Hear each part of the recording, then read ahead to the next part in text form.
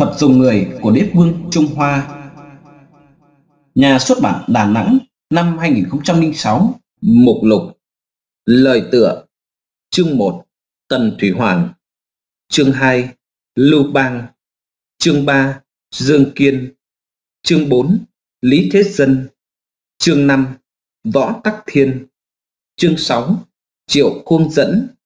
Chương 7 Chu Nguyên Chương Chương 8 Khang Hy Chương 9 Ung Chính và chương 10 Cản Long. Sau đây, kính mời quý thính giả và các bạn cùng lắng nghe cuốn sách Thuật dùng người của đế vương Trung Hoa. Tác giả Tuệ Trân Dịch giả Lê Hàn Linh Người đọc Trịnh Trọng Quân Tuệ Trân Những quy tắc để thành công trong cuộc sống Thuật dùng người của đế vương Trung Hoa Nhà xuất bản Đà Nẵng năm 2006 Lời tựa Chúng ta phải thừa nhận rằng trong lịch sử các triều đại Trung Quốc, mưu trí giành được ngôi vị hoàng đế hùng bá thiên hạ, thu phục nhân tâm để trị quốc của các đế vương đều là một kế sách sử thế lưu lại để người sau học hỏi. Nhìn trong lịch sử các triều đại Trung Quốc, phàm là một vị vua đều có nhiều điểm vượt hơn người bình thường. Khéo lợi dụng thời cơ cũng được, khéo dùng nhân tài cũng xong. Trong các cách hành xử của họ đều biểu lộ trí tuệ và tư tưởng làm đại sự rất phi phạm.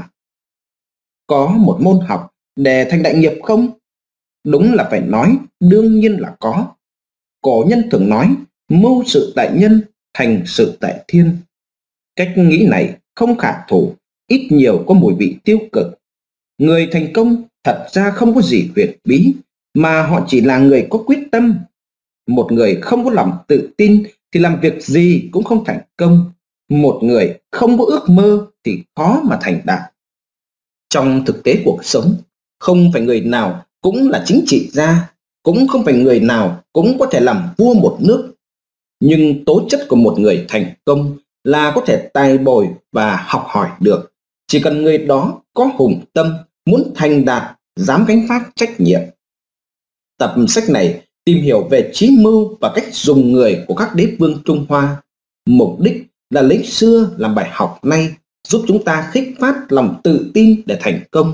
Mà bài học quan trọng trong đó là nghệ thuật giao tiếp sử dụng người. Chương 1 Tần Thủy Hoàng Thủ đoạn điều khiển quân thân của Tần Thủy Hoàng rất cao minh. Mối quan hệ giữa vua tôi chỉ có thể lấy ý mà hiểu không thể lấy lời mà nói. Các vị vua chúa mừng giận bất thường, uy quyền cao hơn tất cả, làm bạn với vua như làm bạn với họ, chính là đạo lý này. Một, không được quá thân cận với các đại thần. Tần Thủy Hoàng sau khi lên ngôi, tình cảm đối với các triều thần có công lao vừa dần dần xa cách, vừa tiến hành thủ đoạn diệt trừ họ. Bởi vì thế lực của những người này có thể uy hiếp quyền hạn của hoàng đế. Sự uy nghiêm của một người làm chủ đất nước không thể lung lay. Về chuyện làm thế nào khống chế mối quan hệ của các đại thần ở bên cạnh mình, thì Tần Thủy Hoàng là một ông vua nắm vững một cách khéo léo nhất trong các ông vua của các triều đại Trung Hoa. Dùng Lã Bất Vi làm tể tướng, sau đó diệt trừ ông ta. Điều này thể hiện được trí tuệ của Tần Thủy Hoàng. Nếu vua của một nước mà quá thân cận với một đại thần được sủng ái, tất nhiên có thể nguy hiểm đến tính mạng của vua. thân tử mà có thế lực quá lớn, địa vị quá cao, tất nhiên sẽ mưu đồ xoán đoạt ngai vàng của vua. Giữa chính thê và phi tần, quý tiện mà không phân rõ, tất nhiên có thể nguy hại đến địa vị của thái tử. Nếu một vị vua có ngàn xe mà không đề phòng thì trọng thần có trăm xe sẽ âm thầm dòm ngó, chờ lúc chính biến, từ đó đoạt lấy thần dân thay đổi triều đại mới. Nếu một hoàng đế có muôn xe mà không đề phòng, thì tất nhiên vị trọng thần có ngàn xe bên cạnh mình sẽ chờ đợi cơ hội xoán quốc đoạt quyền. Hơn nữa, để cho sủng thần có thế lực quá mạnh thì cái thế chính trị vương đạo của vua chúa tất nhiên sẽ suy vong. Cho nên sự lớn mạnh của chư hầu, thần tử là mối họa hại của thiên tử. Quần thần quá phú quý là nguồn gốc vong thân của vua chúa. Các bậc tể tướng, văn võ kèm kẹp thiên tử ra lệnh cho chư hầu cửa đại thần ra vào như chợ búa mưu đồ riêng tư với triều thần đây là điều mà các hoàng đế phải cấm tuyệt. Muôn vật trên đời không có gì quan trọng cho bản thân được quý hiển. Địa vị được cao tột, quyền lực được mạnh thì sức mạnh được lớn. Nhưng bốn việc tốt đẹp này không thể lấy được từ bên ngoài, cũng không thể nhờ người khác ban cho mình. Tự mình phải nương vào vị trí một cách thích nghi mới có thể được chúng. Cho nên nói, các đế vương nếu không thể lợi dụng được ưu thế đặc quyền của mình không thể khéo léo xử lý quan hệ trong ngoài, thuộc hạ bên cạnh trái phải của mình, thì cuối cùng hoàng đế cũng sẽ bị các đại thần gạt ra ngoài, sẽ có họa táng thân vong quốc. Thân là một ông vua, xưng cô, xưng chẫm, muôn người đều cúi đầu trước mặt mình, ai có thể so sánh được? Nhưng cũng không phải là không có điều lo sợ trong lòng. Tại sao thế? Bởi vì vị trí chỗ ngồi cao quá liếc nhìn qua trái qua phải chỉ có một mình không có ai ngồi ngang mình đứng ngang mình đây là điểm mà người ta thường nói chỗ cao thì lạch đét dữ lắm đương nhiên đây là nói người có đầu óc tỉnh táo nếu đổi lại là người có đầu óc hồ đồ thì không thể nghĩ đến những điều này. Hàn Phi đương nhiên là một người tỉnh táo. Tuy ông ta không ngồi ở ngôi vua, nhưng đắc cảnh tỉnh người đang ngồi ở trên ngai phải chú ý. Hàn Phi là người sống vào cuối thời kỳ chiến quốc. Việc gì mà ông ta không từng nhìn thấy. Cho dù không từng nhìn thấy, ông cũng được nghe rất nhiều. Ít nhất, ông ta cũng đã thấy rất nhiều từ trong sách vở. Cho nên, ông ta nói Chúa công không thấy tề tuyên công quá thân cận, tin tưởng kiêu điêu dịch nha sao? Kết quả là tề tuyên công bị họ nhốt trong phòng, đói khát mà chết. Chúa công có biết nước tấn vì sao mà mất không? Đó là vì bị ba đại thần cô lập. Trước đây, tấn hiến công sủng ái lệ cơ nên giết thái tử là con ruột của mình, lập hề tề là con ruột của lệ cơ làm thái tử. Kết quả làm cho nước tấn loạn lạc không ngừng. Chúa công nói xem, làm vua chúa có dễ hay không? Chỉ thiếu thận trọng trong một chút, cả cái mâm cỗ đều lật đỏ, đem tính mạng ra, đền bù cũng không đủ, còn gây họa cho nước, đem tai ương cho dân. Sự cảnh tỉnh của Hàn Phi thực sự có làm cho các bậc vua chúa của các triều đại không phạm cái căn bệnh này không? Cho dù có vài vị vua chúa đầu óc tỉnh táo chú ý đến nhưng vẫn không bảo đảm muôn đời không theo vết xe đắt đổ đó. Hàn Phi vẫn không hiểu được rằng cái quyền thế của vua thì không ai có thể so sánh được, nhưng bản thân hoàng đế là một vấn đề khác. Cho nên có rất nhiều vua chúa có đầu óc mơ mơ, hò hò, thực sự là một vấn đề nan giải từ thiên cổ đến nay. Ông vua có vạn xe chính là thiên tử.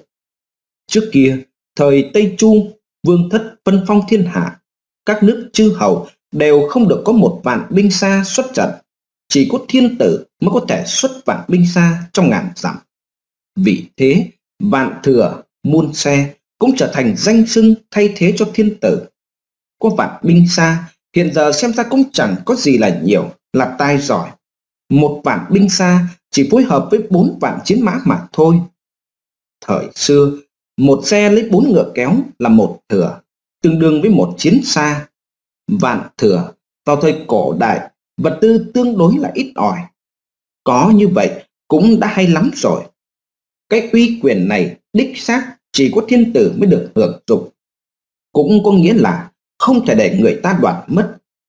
Uy quyền của thiên tử, một khi bị người ta đoạt mất, ở thời xa xưa, cũng giống như cả quốc gia bị mất bởi vì thời xưa, bất cứ một quốc gia nào cũng đều là do một dòng họ thiên tử lập nên. Dòng họ thiên tử nào đó mất ngôi thì quốc hiệu cũng phải thay đổi.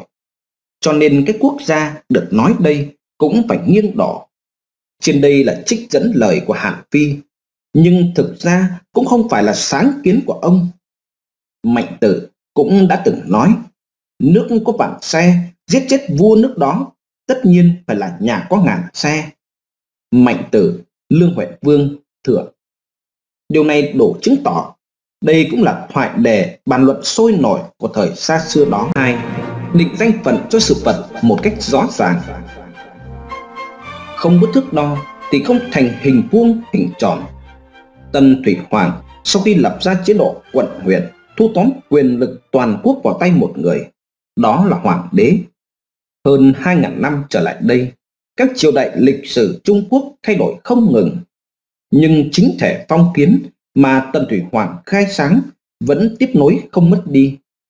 Cho nên có thuyết các triều đại đều theo phép tắc chính sự của Tần, đủ thấy cái ảnh hưởng sâu đậm và lâu dài của nó. Phép tắc của vua chúa chuyên quyền trước hết là định danh phận cho sự vật một cách rõ ràng. Có danh phận một cách rõ ràng rồi thì việc xác định sự vật là không khó. Danh phận không rõ ràng thì sự vật sẽ hỗn loạn. Vua chúa muốn ngăn cấm san tà thì phải xem xét hình danh có phù hợp hay không. Gọi là hình danh, tức là ngôn luận và sự thực. Kẻ làm thần dân trình bày chủ trương của mình, vua chúa căn cứ vào chủ trương của họ mà để cho họ làm việc. Chuyên lấy hiệu quả của những việc họ làm mặt định công. Công lao và sự việc tương đương, sự việc và lời nói tương đương thì tưởng thưởng công lao và sự việc không phù hợp, sự việc và lời nói không phù hợp thì trừng phạt. Cho nên quần thần nói khoa trương mà hiệu quả ít ỏi thì phải trừng phạt. Không phải trừng phạt vì công lao ít ỏi, mà là trừng phạt vì lời nói và việc làm thực sự không đi đôi. Quần thần thận trọng, nói ít mà hiệu quả lớn cũng phải trừng phạt. Đó không phải là không mừng công lao lớn, mà là vì lời nói và việc làm không đi đôi nguy hại lớn hơn công lao cho nên phải trừng phạt. Thánh nhân dùng thái độ bình tĩnh mà nắm phép tắc, làm cho danh phận tự nhiên hình thành, làm cho sự vật tự nhiên xác định. Vẻ vui mừng của vua phải âm thầm, không biểu lộ trí năng của mình thì quân thần ở dưới mới có thể được bồi dưỡng thuần chính. Căn cứ theo loại phép tắc này mà tuyển dụng đại thần để họ tự động làm việc. Căn cứ theo loại phép tắc này mà phân chia nhiệm vụ, đại thần môn tướng tự động kiến công lập nghiệp. Hoàng đế dùng phương pháp chính xác mà xử sự, làm cho quần thần tự động hoàn thành nhiệm vụ. Vua chúa căn cứ vào chủ trương mà đề cử quần thần nhất thời chưa biết chủ trương của quần thần có hợp có đúng hay không cho nên cần phải khảo sát lại hiệu quả hành động của họ tần thủy hoàng sau khi xưng đế để củng cố sự thống trị của mình, không những nỗ lực tuyên truyền thuyết ngũ đức thủy chung, tăng cường sự khống chế tư tưởng mà còn tăng cường cơ cấu quan liêu, tập trung quyền lực của trung ương. Chế độ quan liêu là cột trụ của chính quyền Tần Thủy Hoàng.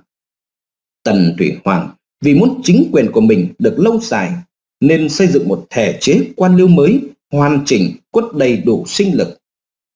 Trước hết, Tần Thủy Hoàng xây dựng hàng ngũ bá quan, thiết lập các chức tam công, cửu khanh, tạo thành địa vị trọng tâm cho thừa tướng, thái úy, ngự sử, đại phu. Thừa tướng là vị quan văn cao nhất, phụ tá hoàng đế xử lý quốc sự. Thừa tướng phân ra tả hữu, lĩnh hữu là cấp trên. Thừa tướng cấp trên thì nhận mệnh lệnh của thiên tử, giữ ấn vàng, đeo dây lụa tím, quyền lực rất lớn.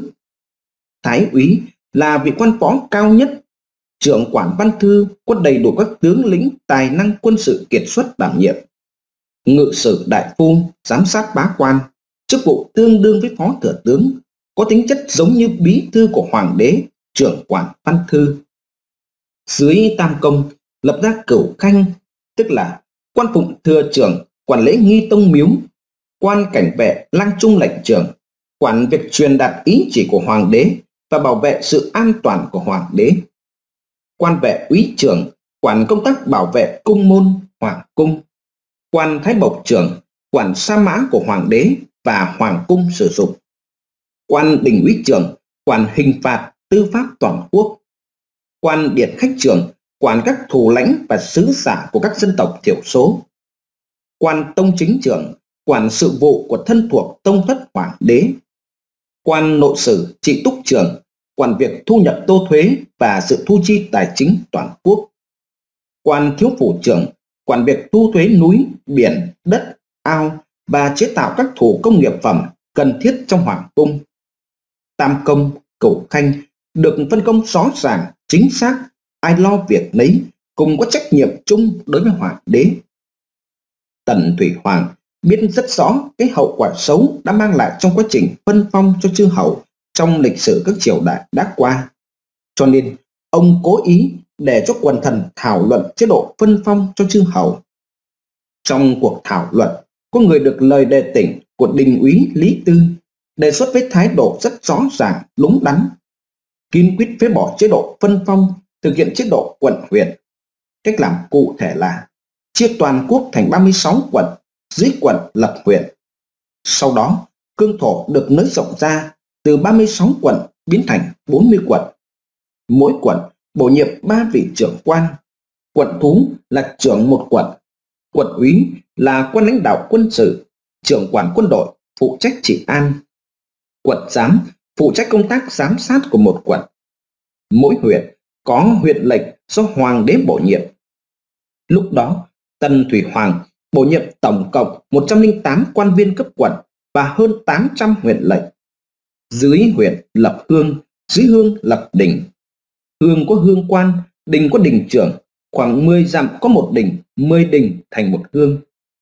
Quan lại của một hương thiết lập khá đơn giản, chỉ có tam lão, sắc phu hoặc có trật sắc phu, du kiểu và hương tá.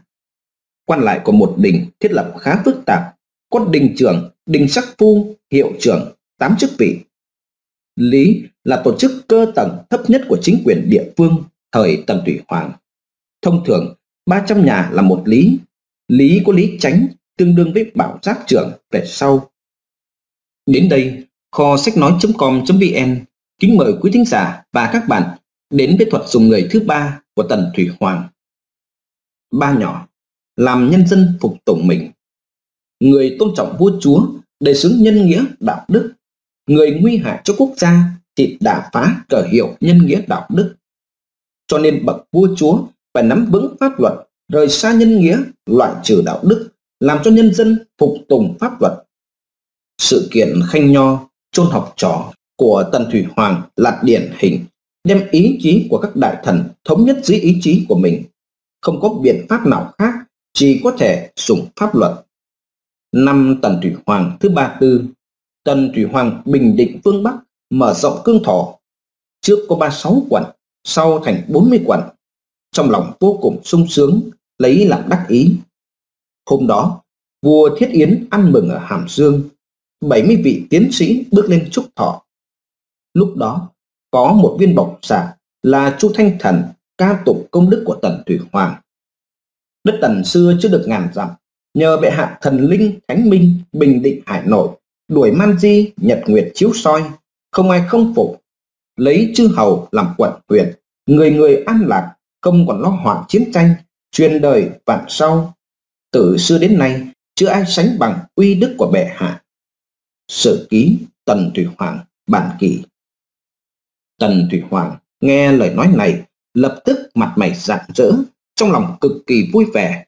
Các nho sinh, tiến sĩ khác ngồi nghe lời nói đó lại không nghĩ như thế. Có người cau mày, có người bĩu môi, có người giả vờ ngủ gật. Tiến sĩ Thuần Phu Việt lập tức đứng lên biểu thị phản đối. Lại nói Chu Thanh Thần là hạng nịnh bợ a dua không phải là bậc trung thần lại còn thẳng thắn phê bình tần thủy hoàng phủ nhận chế độ phân phong tiến hành chế độ quận huyện đồng thời chỉ rõ người không trọng thầy trọng cỏ mà được trường tồn ta chưa từng nghe qua thừa tướng lý tư nói một cách hòa hoãn rằng trị lý thiên hạ là một việc làm phức tạp điều quan trọng là có thể thích ứng với sự thay đổi của tình hình thời đại do đó một cuộc tranh luận trong lĩnh vực hình thái ý thức bắt đầu đây là một cuộc tranh luận bình thường trong lĩnh vực tư tưởng, nhưng bị Tần Thủy Hoàng phóng đại thành một trường tranh đấu chính trị. Tần Thủy Hoàng vốn không có thiện cảm với giới nho sĩ. Năm đó, Tần Thủy Hoàng đến Thái Sơn làm nghi thức phong thiền, từng vì việc lên Thái Sơn như thế nào mà bị các nho sĩ cười cợt mỉa mai. lúc đó trong lòng đã không vui. Bây giờ nghe thấy các nho sĩ lấy cổ bài kim tỷ bán công kích chế độ của ông ta xây dựng nên. Trong lòng Tần Thủy Hoàng đã bốc lửa giận, cộng thêm Lý Tư bên cạnh, quạt gió thêm cho lửa giận bùng phát, đề xuất ý kiến bảy điều, đốt tất cả sách sử, ngoại trừ tần ký. Ý đồ làm cho mọi người trong thiên hạ không còn lấy cỏ bại kim. Tần Thủy Hoàng lập tức phê chuẩn kiến nghị của Lý Tư, rồi công bố khắp trong nước lệnh đốt sách. Các nước nổi lên phong trào lục soát sách vở và quy định kẻ nào cất giấu sách vở không giao nộp sẽ bị xử trả toàn ra. Kết quả, vô số kinh sách văn hóa bị đốt thành một trận hỏa hoạn bốc cháy hừng hực. Đám khói đen bay lên che bầu trời ở khắp nơi liên tiếp mấy ngày không tan. Đây chính là sự kiện phần thư đốt sách của Tần Thủy Hoàng mà ngàn đời còn oán hận. Sau khi đốt sách, các nho sĩ không vì thế mà ngừng tranh đấu. Họ tiếp tục lấy cỏ bài kim công kích Tần Thủy Hoàng. Lưu sinh và hậu sinh.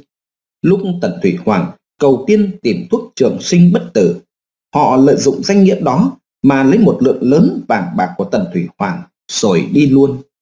Trước khi chạy trốn, họ mang việc đốt sách công bố chỉ trích khắp nơi, cho rằng Tần Thủy Hoàng chuyên bổ nhiệm quan giữ ngục, không tôn trọng giới nho sĩ, lấy giết chóc làm uy, tàn bạo thành tính, lấy đó mà tiến thêm một bước khơi dậy tình cảm bất mãn của giới nho sĩ đối với Tần Thủy Hoàng. Tần Thủy Hoàng sau khi nghe được việc này, trong lòng giận dữ, hạ lệnh truy nã cắt cao cho ngự sử bắt tất cả nho sĩ ở Hàm Dương đem về, vì các nho sĩ bí mật thông báo cho nhau. Tần Thủy Hoàng bắt những người gọi là phạm cấm hơn 460 người đem chôn sống dưới hầm ở thành Hàm Dương. Đây chính là sự kiện khanh nho chôn sống học trò của Tần Thủy Hoàng. Chương 1 Tần Thủy Hoàng của cuốn sách Thuật dùng người của đế vương Trung Hoa Tác giả Tuệ chân, Dịch giả Lê Hà Linh, Người đọc Trịnh Trọng Tuân.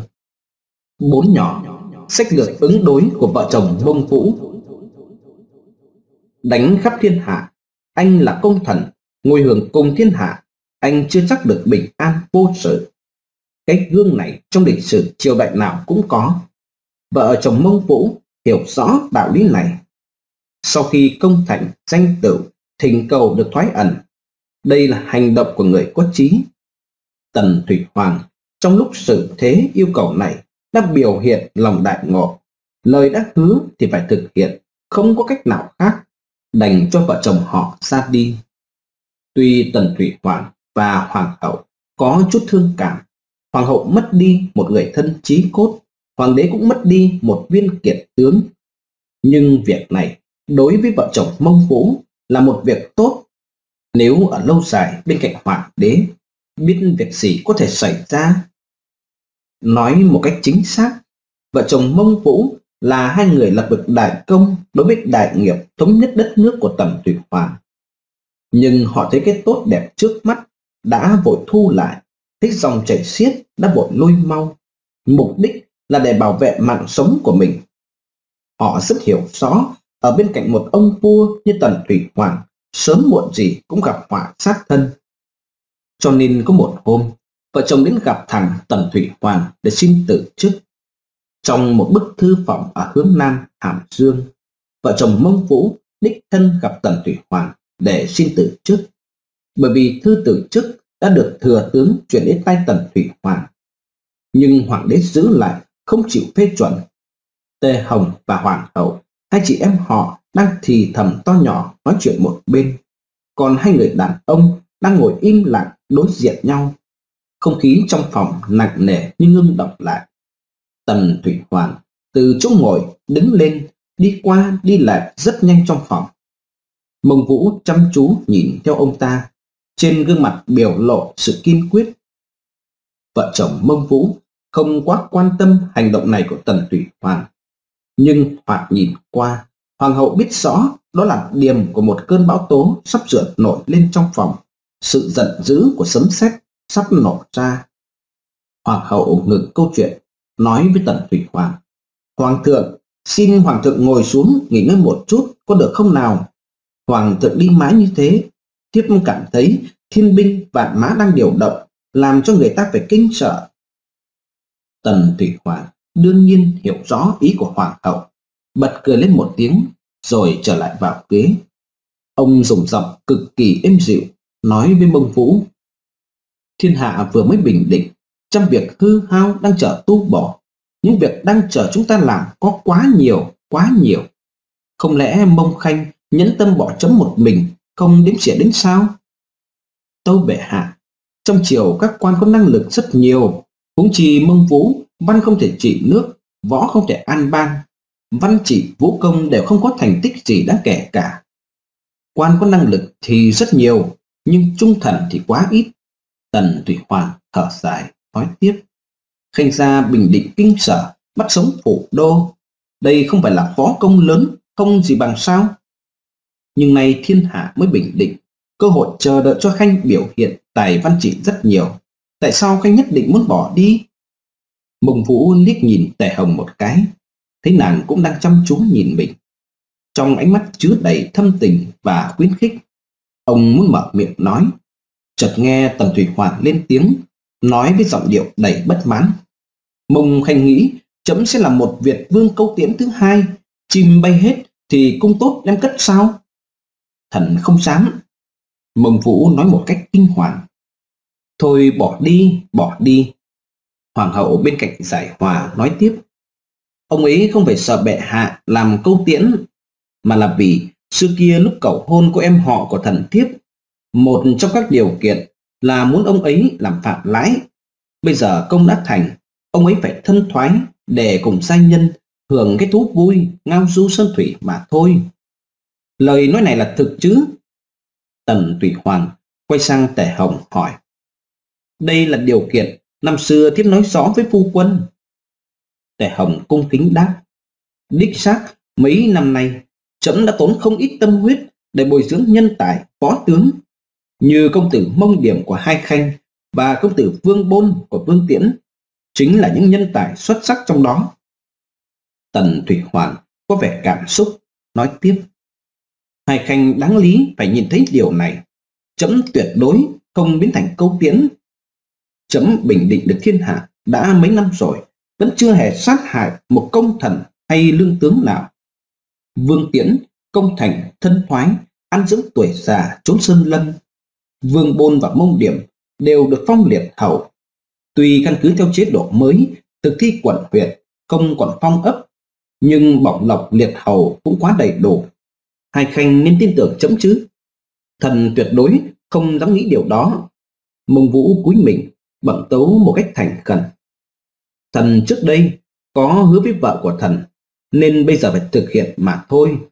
Thần tuyệt đối không có hai lòng. Húng chi, trong thiên hạ này không có chỗ nào là không thuộc vương thọ của bệ hạ. Thần có lui ẩn ở đâu cũng là thần tử của bệ hạ. Khi hữu sự chỉ cần hạ chiếu chỉ, thần nghe lệnh chiếu cho đến ngay để đáp ứng mệnh lệnh của bệ hạ. Bông Khanh bây giờ nói rất hay, chỉ sợ cát to một khi thả về biển cả, sợ không câu lại nữa được thôi. Nói rồi, Tân Thủy Hoàng ngửa đầu, các người có mặt trong phòng đều bật cười theo nhìn thấy nét mặt rất vui vẻ của Tần Thủy Hoàng, nên nụ cười của mọi người cũng phát từ nội tâm chân thật. Chỉ có điều, được thiên hạ trên lưng ngựa, nhưng không thể trị thiên hạ trên lưng ngựa được. Mấy năm nay, chấm chuyên tâm bồi dưỡng tướng tài mà bỏ qua việc bồi dưỡng văn thần. Bây giờ có chút khổ tâm khó kiếm người thay thế. Thừa tướng Vương Quản đã già rồi, ngự sử đại phu phụng kiếp cũng già rồi. Nhân tài mới có khả năng làm tể tướng, chưa biết đang ở đâu. Tần Thủy Hoàng lắc đầu thở dài. Mông Vũ trong lòng vốn muốn nói, với tính cách của Tần Thủy Hoàng, việc nhỏ, việc lớn gì cũng muốn nắm, tự mình làm lấy thì tể tướng không cần có tài cán gì, chỉ cần đi tiếp trước là có ngay. Nhưng ngoài miệng, ông lại nói, Lý tư tài cao, tính cẩn mẫn, tinh thông thuật trị nước. Há không phải là một bậc nhân tài để làm tể tướng tốt nhất sao? Tài cán và trí tuệ của Lý Tư thì không có gì để bản nữa. Tần Thủy Hoàng trầm ngâm một lúc, rồi lắc đầu nói tiếp. Người này thích gió là chuyển hướng bánh lái. Tâm ham muốn lợi lộc lại quá nặng, không tin hắn được. Các khanh đều cho là chấm thích việc gì cũng muốn tự làm. Nhưng không hiểu cách khó là không có người sủng được, không có người đáng tin để giao công việc. Tần Thủy Hoàng quét ánh mắt nhìn mọi người trong phòng một lượt, rồi thở dài, nói Tại sao mỗi lần ra ngoài tuần tra đều đem theo Lý Tư và Triệu Cao? Ở đây đều không phải là người ngoài, chấm nói thực cho mà nghe. Chính vì không an tâm để họ ở lại giữ thành. Hai con rắn độc này chỉ có bàn tay của chấm mới đủ khả năng chơi với chúng mà thôi. Hoàng hậu gật đầu một cách đồng cảm sâu sắc. Vợ chồng mông vũ kinh ngạc đến ngây người ra. Mông vũ nghĩ thầm trong lòng. Chả trách hoàng đế lúc tuổi còn quá trẻ mà đã dễ dàng vượt qua mọi khó khăn dồn dập ở triều chính. Trong thời gian 10 năm đã chinh phục cả thiên hạ, quả thực trời sinh ra đã cực kỳ anh minh. Tần Thủy Hoàng lại đứng lên, bước đến bên cửa sổ. Ông nhìn ra ngoài rồi lẩm bẩm tự nói với mình. Những người như Vương Quản lại ở triều đình cũng chỉ có thể xử lý những công việc thường ngày. Có biến cố gì trọng đại, họ lại bẩm tấu rồi thừa lệnh của chấm mà làm đã thành thói quen rồi. Đến lúc có biến cố thì kinh hoàng thất sắc, không biết phải hành động thế nào. Cho nên chấm ra ngoài tuần thú, chứa lòng luôn luôn ở tại Hàm xương. Tần Thủy Hoàng đột nhiên quay lại, nói với Mông Vũ. Khanh hiểu rõ cái mùi vị tâm phải treo ở hai đầu này chứ. Nhìn thấy gương mặt cương quyết của Mông Vũ, Tần Thủy Hoàng sắc mặt có vẻ buồn bã, đổi hướng câu chuyện. Chấm không ép Khanh phải làm một người không giữ chữ tín, nhất là đối với vợ mình. Tần Thủy Hoàng nhìn Hoàng hậu, bà mỉm cười, tỏ ý tán đồng. Hoàng đế lại nhìn tề hồng. Trong cặp mắt của nàng chứa đầy sự cảm kích. Tần Thủy Hoàng quả quyết nói, cứ đi đi, chấm nhận lời từ chức của Khanh. Nhưng dù sao, chấm cũng cảm ơn Khanh đã để lại hai anh em Mông Điển và Mông Nghị lại cho chấm. Mông Điểm là lương tướng công thành danh tử. Mông Nghị ở đình úy đầu cũng đã lộ cặp sừng rồi. Rõ ràng là quát tài của một tể tướng. Chỉ có điều không thể so sánh với vũ tướng toàn là những nhân tài đáng tin cậy. Tất nhiên, cần phải trải qua sự lão luyện lâu dài. Cho nên danh tướng tuổi hơn 20 không phải là ít. Danh thần ở tuổi 30 thì lại khó tìm được. Như Cam La, 12 tuổi, làm sứ giả của Tần đi đến Triệu, lấy năm thành của Triệu không làm nhục sứ mệnh, được phong làm thượng khanh, nhưng sau không phải cội cây khỏe mạnh, cuối cùng trở về cõi vắng lặng, không còn nghe tiếng tâm gì nữa. Lương tướng khó câu, năng thần tận trung, càng khó được. Mông Vũ sợ Tần Thủy Hoàng hối hận, nên vội đứng lên cảm tạ Hoàng ân. Hoàng hậu hay ra lệnh cho cung nhân chuẩn bị tiệc rượu. Chấm đêm nay uống một trận cho thống khoái để tiễn đưa vợ chồng biểu muội lên đường. Tần Thủy Hoàng nói thuật dùng người tiếp theo của Tần Thủy Hoàng. Năm nhỏ, phương pháp điều khiển tướng lãnh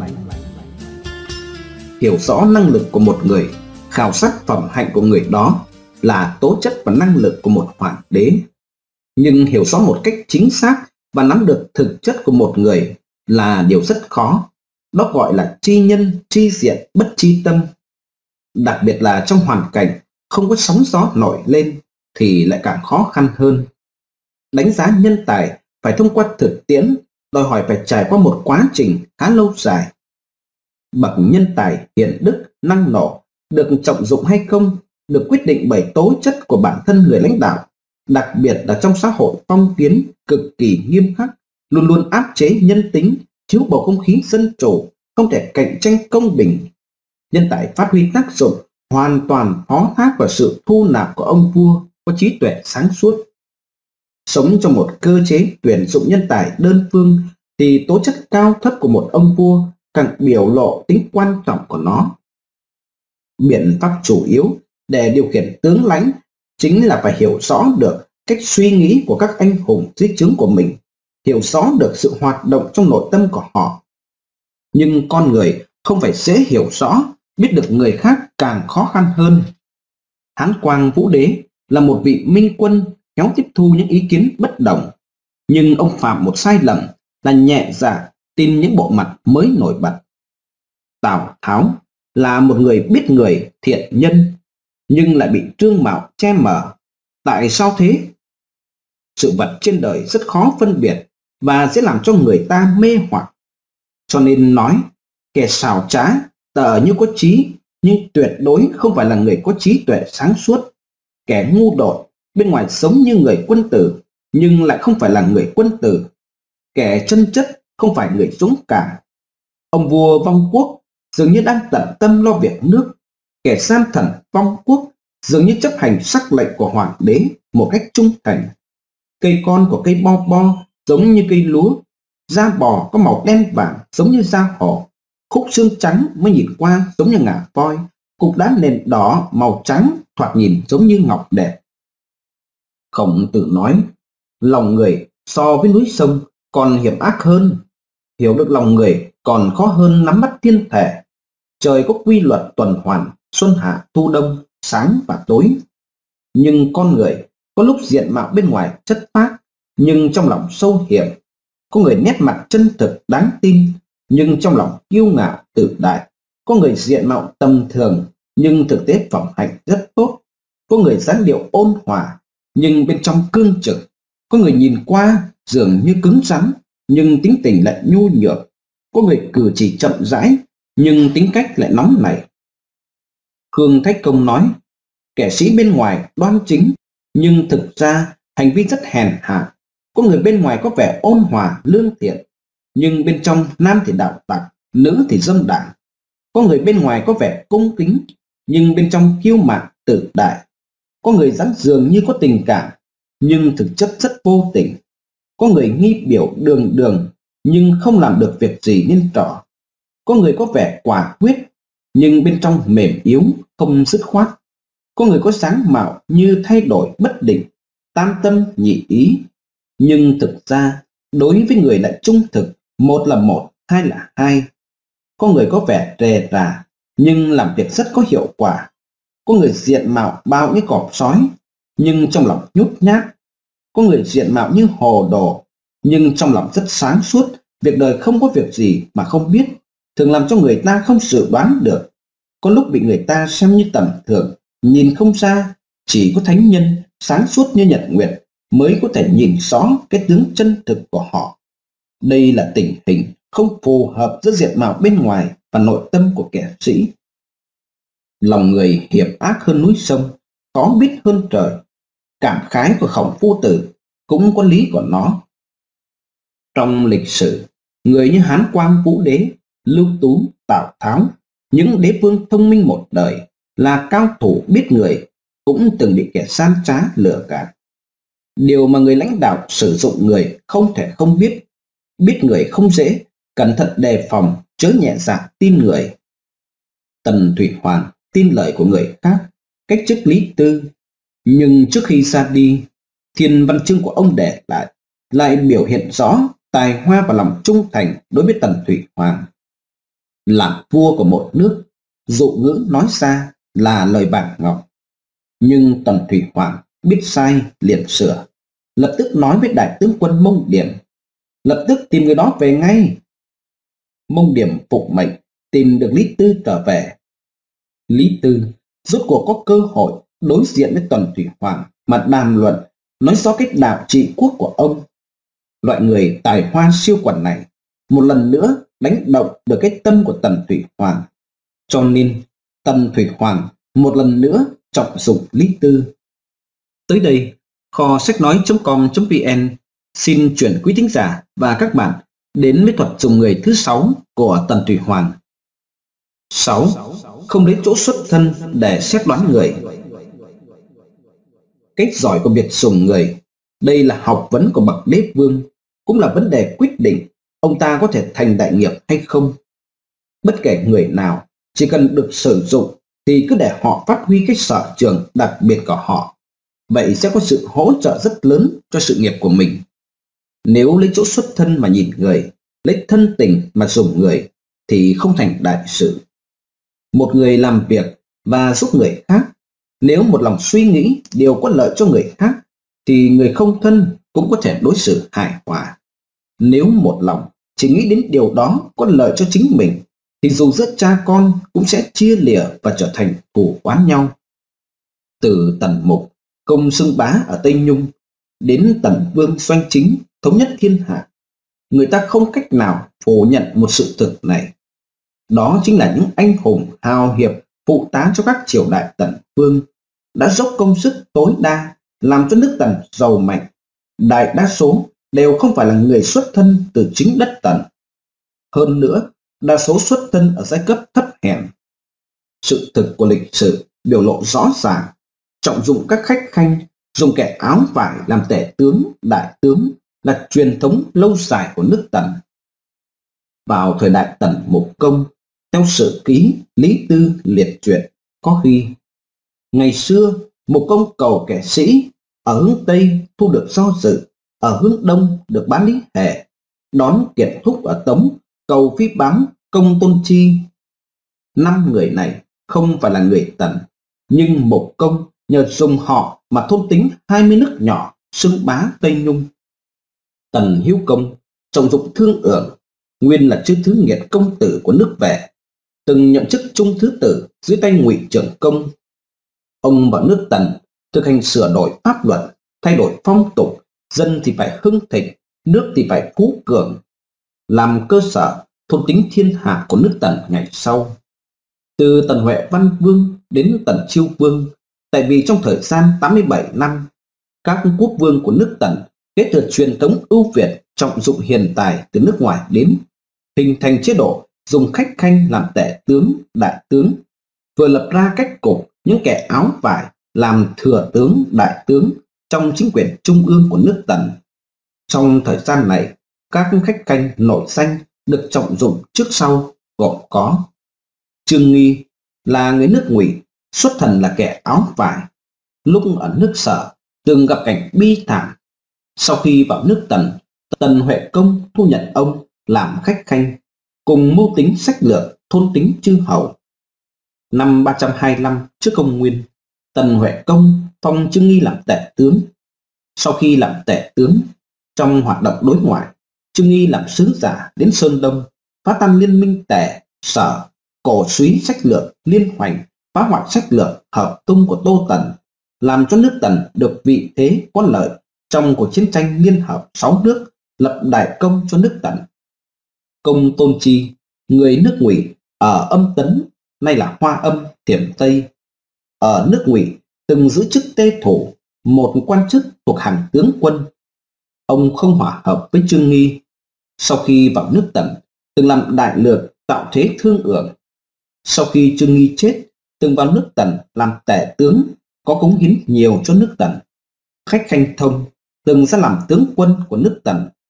Tần Chiêu Vương năm thứ tư 303 trước công nguyên, Tề, Ngụy, Hàn tấn công nước Sở.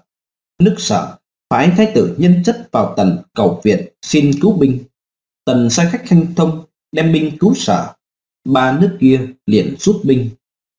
Phạm Tuy là người nước ngụy, sau khi vào nước Tần, được Tần Chiêu Vương bái là khách khanh. Sau đó được phong làm thừa tướng, đã gây nên tác dụng kết thúc sự chuyên quyền trong tôn thất quý tộc của Nguy Nhiễm. Tế Trạch là người nước Yên, sau khi vào nước Tần, ông ngồi cùng bàn với Phạm Tuy bản luận, nói đến nỗi Phạm Tuy tâm phục khẩu phục, làm cho Phạm Tuy ngoan ngoãn từ địa vị thừa tướng lui xuống, rồi tiến cử tế trạch với Tần Vương. Tần Chiêu Vương sau khi triệu kiến rất hân hoan, lập tức bái tế trạch làm khách khanh. Chẳng bao lâu, Tần Chiêu Vương phong ông làm thừa tướng. Nhưng tế trạch sau khi lên làm thừa tướng không được lòng người, đành phải từ chức. Phạm Tuy, tế trạch đều lấy thân phận áo vải, lần lượt từ ngụy Yên vào nước Tần từ khách khanh thăng lên làm thừa tướng cũng vì sợ bị giết mà trả tướng ấn phạm tuy tế trạch bạch khởi là những văn thần võ tướng sống trong cảnh phong ba của biển hoạn đồ đã chứng minh truyền thống trọng dụng khách khanh từ tần huệ vương trở về sau ở thời kỳ tần chiêu vương đã hình thành chế độ từ khách khanh lên làm thừa tướng tướng quân. Cơ cấu thừa tướng, tướng quân áo vải đã được xác lập sơ bộ ở nước Tần. Sự kiện từ khách khanh lên làm thừa tướng, rồi từ thừa tướng mượn cướp bệnh mà trả lại tướng ấn của Phạm Tuy và Đế Trạch. Từ một mặt nào đó đã phản ánh được cách đặc điểm cố hữu của cơ cấu áo vải lên làm thừa tướng, tướng quân, tức là cái tính lưu động của nó. Nhưng cái tính lưu động của cái kiểu thức tẩu mã đăng này làm cho con đường pháp trị từ thương ưởng trở về sau được thực hiện một cách nghiêm túc, làm cho nước Tần duy trì được tính chính xác về mặt sách lược và tính liên tục của con đường pháp trị. Từ đó mà hoàn thành được đại nghiệp thống nhất thiên hạ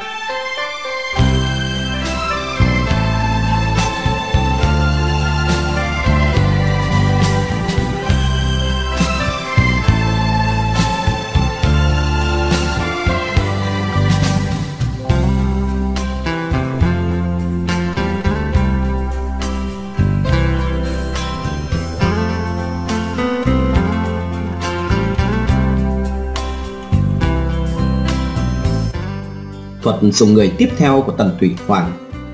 7. Thưởng phạt công bằng. Nhân dân xem trọng lợi ích, Đại thần xem trọng tước vị, Vua chúa xem trọng uy quyền.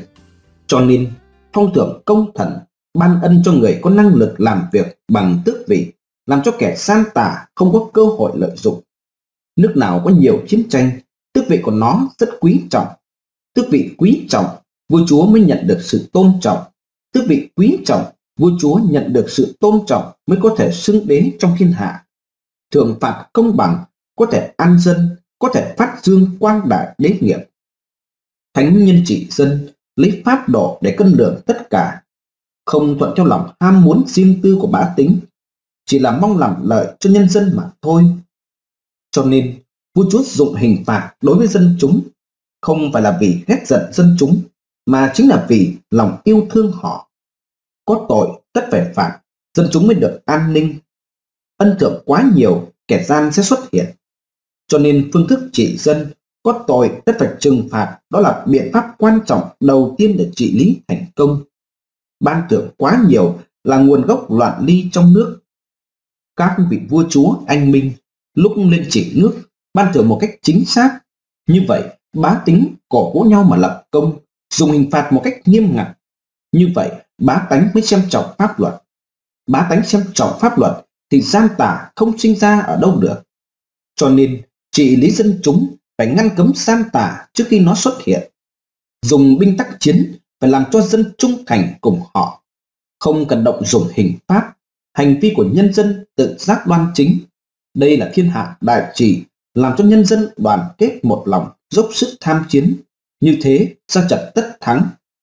Thánh nhân trị nước không lợi dụng hình, nhân dân tự giác tuân thủ pháp luật. Như vậy, sức mạnh của đất nước sẽ to lớn, làm cho nhân dân từ trong tâm trí đã nắm chắc phần thắng. Như thế sẽ chiến thắng không còn nghi ngờ gì. Đại sự quốc gia phải dùng sức vào lúc chưa dụng hình mà trị nước, chưa đánh mà thắng trước, thống nhất tư tưởng của nhân dân, luôn luôn tôn trọng tinh thần đại công vô tư ban thưởng cho người tốt, làm cho gian tà không thể phát sinh. Pháp luật rõ ràng, chính xác, làm cho chính trị không rối loạn, làm được bốn điểm trên thì quốc gia sẽ cường thịnh, không làm được bốn điều trên thì quốc gia sẽ suy nhược. Nguyên nhân làm cho một quốc gia cường thịnh là nhằm ở chỗ thực hiện chính trị đắc lực. Nguyên nhân làm cho vua chúa được tôn trọng là nằm ở chỗ quyền thế nắm ở trong tay. Cho nên minh quân là có quyền thế, hơn nữa còn khéo thực hiện chính trị. Hôn quân cũng có quyền thế, nhưng không khéo thực thi chính trị. Cả hai đều tập trung quyền thế, nhưng thực thi chính trị hoàn toàn khác nhau. Cho nên nguyên tắc lập quốc khác nhau, chính sách cũng khác nhau rất lớn. Vì vậy, bậc vua chúa anh minh nắm quyền thế, nên địa vị tôn quý, chính sách vua chúa ban ra đúng đắn nên quốc gia phú cường cho nên pháp luật là nền tảng của vua chúa, dùng hình phạt phát xuất từ lòng yêu thương. Có vua chúa thích ăn nhàn mà hết làm việc vất vả, thích ăn nhàn thì sự nghiệp đổ nát. Cho nên quốc gia trị không tốt nên thiên hạ đại loạn. Vì vậy, không dùng thưởng phạt trong thiên hạ thì con đường tiếp tục cai trị sẽ bị bế tắc. muốn xây dựng nghiệp lớn nhưng không kêu gọi được dân chúng ra sức thì đại công không thể thành tựu. Muốn tìm biện pháp tốt trị dân nhưng không thay đổi quy chế cũ thối nát thì dân chúng sẽ hỗn loạn, không thể trị dân tốt được. Cho nên trị dân không có quy tắc nào thường hằng bất biến, chỉ có chọn pháp luật tương ứng mới trị nước tốt được. Pháp luật có thể theo thời đại mà sửa đổi thì thiên hạ đại trị. Biện pháp trị nước phải thích ứng với thực tế xã hội vốn thay đổi không ngừng thì công nghiệp sẽ lập được. Thời đại thay đổi rồi, biện pháp trị nước không thay đổi theo thì đất nước sẽ nguy loạn. Người gian xảo càng nhiều, cấm lệnh không sửa đổi thì chính quyền sẽ suy yếu. Cho nên, thánh nhân trị dân, pháp luật phải thay đổi theo thời đại, cấm lệnh cũng phải thay đổi theo sự biểu hiện của người gian xảo. Đất nước có thể dốc toàn sức ra canh tác gieo trồng thì sẽ sung túc. Đất nước có thể điều động được toàn lực lượng ra đối địch thì sẽ lớn mạnh. Lớn mạnh mà không bị ngăn chặn thì sẽ có xưng vương trong thiên hạ. Cho nên, đạo của một ông vua nằm trong việc đồng ý cái gì đó, ngăn cấm cái gì đó, có thể ngăn cấm hành vi gian tả là có đủ khả năng xưng vương.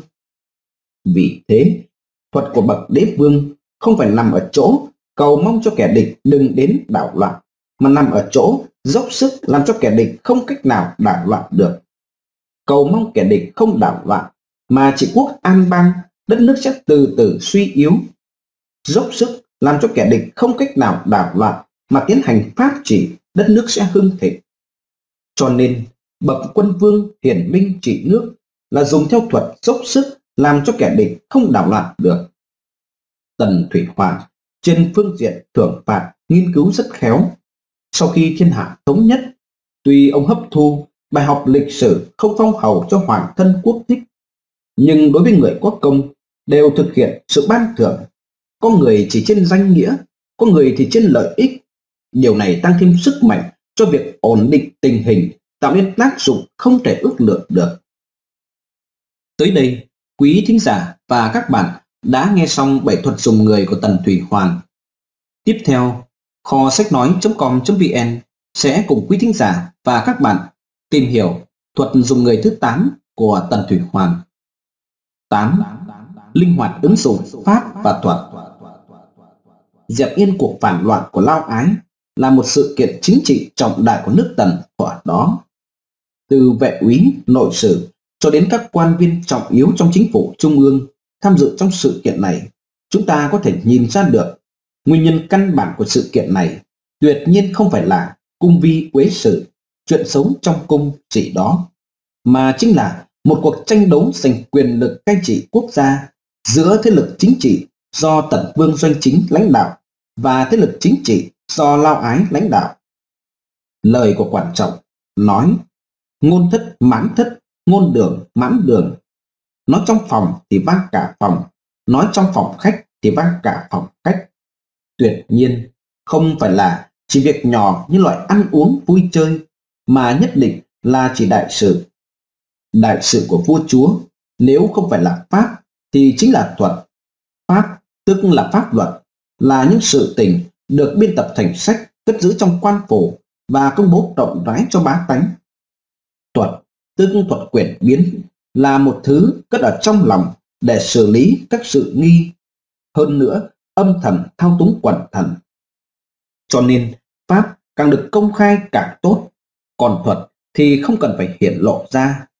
Vì thế, Minh Quân tuyên bố pháp lệnh cho người trong toàn quốc, kể cả người dân thấp hèn, không ai là không biết, cho nên không thể chấn động khắp nơi.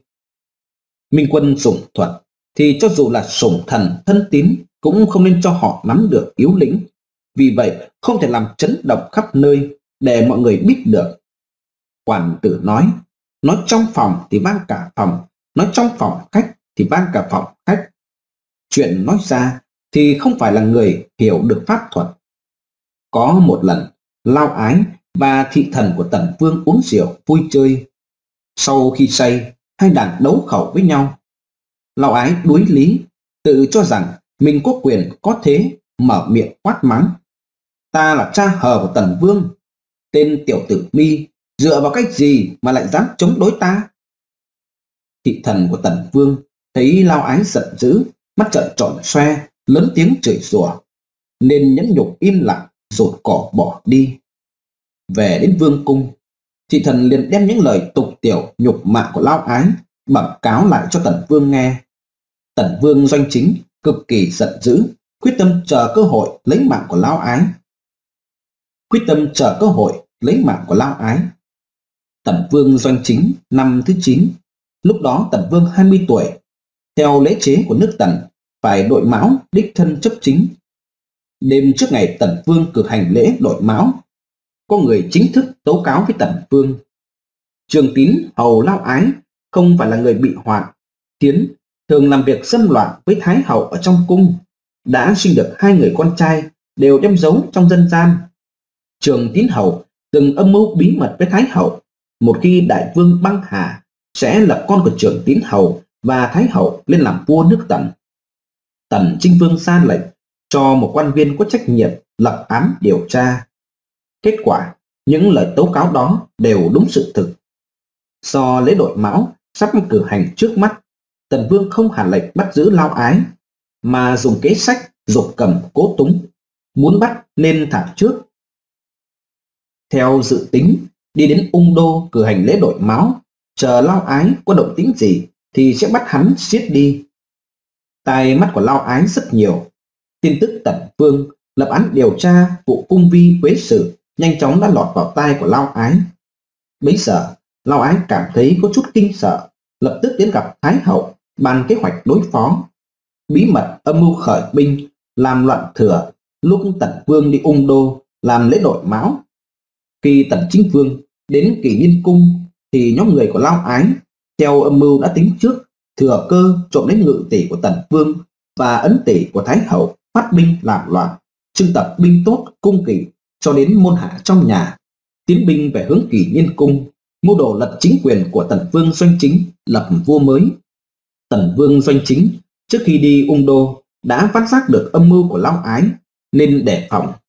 Lúc nhóm lao ái phát binh làm phản, tần vương doanh chính đã có sẵn trong lòng chiến thuật đối phó lập tức phái tướng quốc Sương Bình Quân, Sương Văn Quân dẫn binh chấn áp bọn phản loạn.